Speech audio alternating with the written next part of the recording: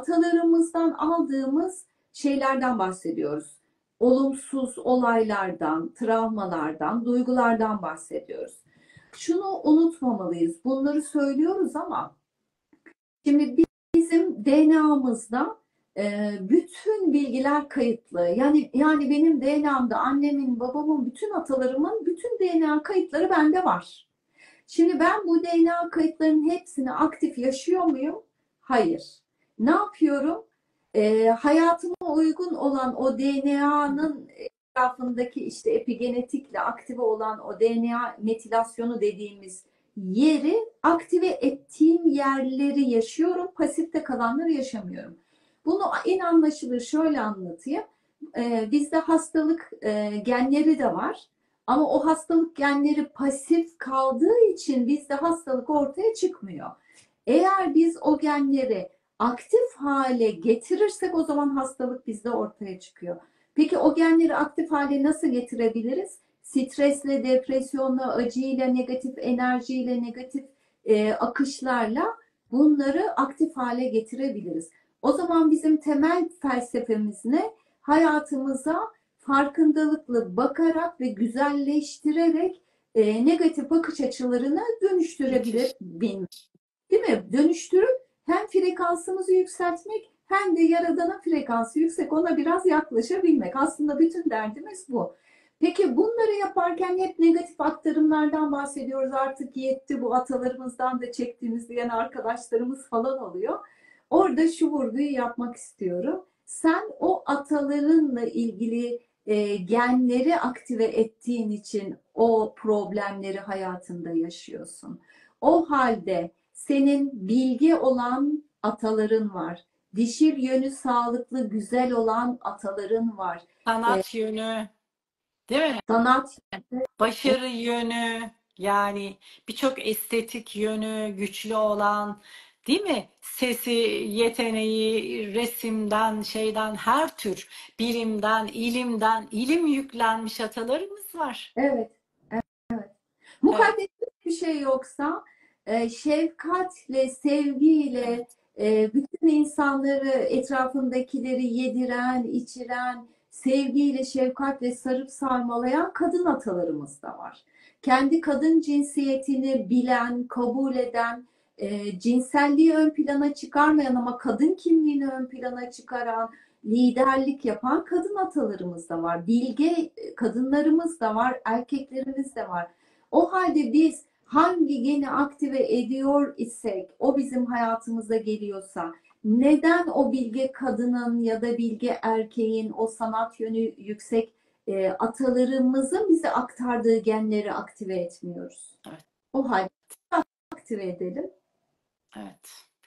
Şey var. Ümit, e, şey sağlıkçı yanımdan biliyorum. Yani işte şeker hastası olabilir, kalp hastası olabilir. Diyor ki bizim sülalede kalp hastalığı var. Bizim sülaledeki bütün erkekler 53 yaşına geldiğinde ölürler. Dedem de öldü, onun dedesi de öldü, babam da öldü. Hakikaten bunu söylediği için 53 yaşında ölüyor. Öyle Evet. yani komşumuz oldu yani. Hani biliyorum, şahit oldum. Halbuki oradaki kalp hastalığıyla ilgili olan e, DNA bölümünü, gen bölümünü aktive etmese bir şey olmayacak. Yani o nedir? Stresten, işte iş hayatının yoğunluğundan kalp krizi geçirdi. Yani evet bizim sülalede var. Oysa ki bunu aktive etmediğinde daha relax, daha sakin, daha farkındalıklı, daha dengeli bir hayatta o e, şeyi geni aktive etmemiş olacaktı. Bu muhteşem bir açılım oldu. Biz demek ki atalarımızdan getirdiğimiz sadece negatif yüklere sahip değiliz. Aynı zamanda bir sürü pozitif özelliğe de sahibiz. Ki Evet.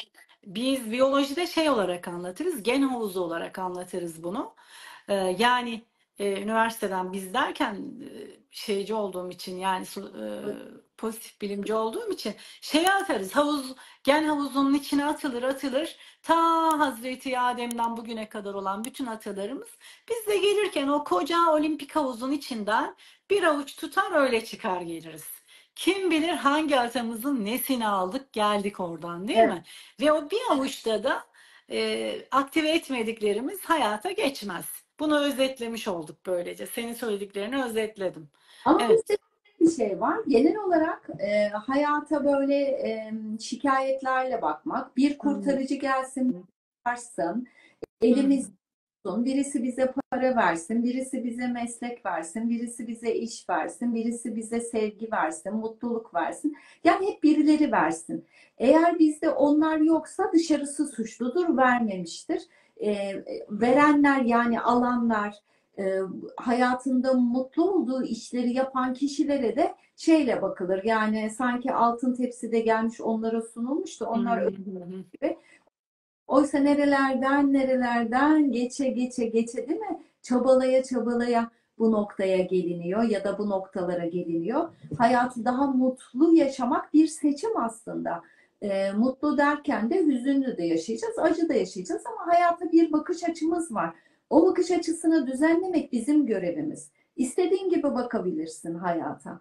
Hayata, kadere nasıl bakarsan o da sana öyle bakıyor. Orayı düzenlemek lazım. Ama bunun için de bir çaba lazım. Bizler ne yapıyoruz? İşte yıllardır eğitimlere gidiyoruz, eğitimler alıyoruz ya da eğitim seanslar alıyoruz. Sonra eğitimler vermeye başladık ama öncesinde de bir sürü bir işte almaya çalıştık. Sorun nedir görmeye çalıştık. O gördüğümüz sorunları düzeltmeye çalıştık. Ben nerede yanlış bakıyorum, orayı düzelteyim, dönüştüreyim dedik. Yani oralara bakılması gerekiyor. Ee, ve bakan herkes, e, bu niyetle ortaya çıkan herkes hayatında dönüşümleri yaşıyor. Bu niyetle çıkan ve çalışan hiç kimsenin yaşa yani yaşamaması mümkün değil. Bunun özellikle altını çizmek istiyorum ve bunu her seferinde de altını çiziyorum. Ya bu bize bağlı lütfen e, Allah rızası için hayatımızı değiştirmek istiyorsak ağlamaktan, sızlamaktan uzaklaşıp ne yapabiliriz? Ha yeri geliyor biz de ağlıyoruz, yeri geliyor biz de üzülüyoruz. Bunlar da normal. Bu arada geçen bir danışıma, danışanıma dedim ki e, işte e, ekranda konuşan kişiler işte hayatları çok güzel, çok mutlu, işte bolluk içinde, hiçbir sıkıntısı yok. Öyle mi görünüyor dedim. Evet dedi. Öyle görünüyor. Peki ben de mi öyle görünüyorum dedim. Evet siz de öyle görünüyorsunuz dedi. Dedim ki o zaman biraz daha bizim de problem yaşadığımız kısımları mı anlatmak lazım ki acaba? Böyle olmadığını görsünler. Arka planda ne, ne tür sıkıntılar yaşadığımızı da dedim demek ki bazen anlatmak gerekiyor.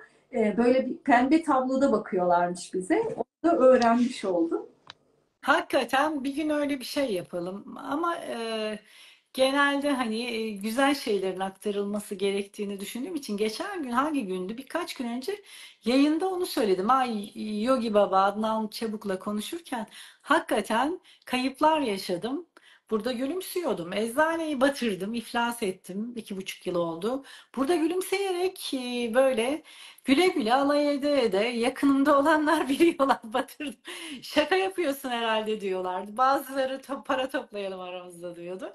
Yani onları yaşadım. İşte şeyler e, dostlarımı, sevdiklerimi, insanları kaybettim ama ben buradaydım. E, bayramlarda buradaydım. Tatil günlerinde bu, buradaydım. Bu işin aşkla yapmakla ilgiliydi. E, hem de saat 22'de buradayım. Hatta geçen gün bir e, konuğumuzda demişler ki iki dakika geç geldiğin için Mukaddes Hanım suratını astı sana.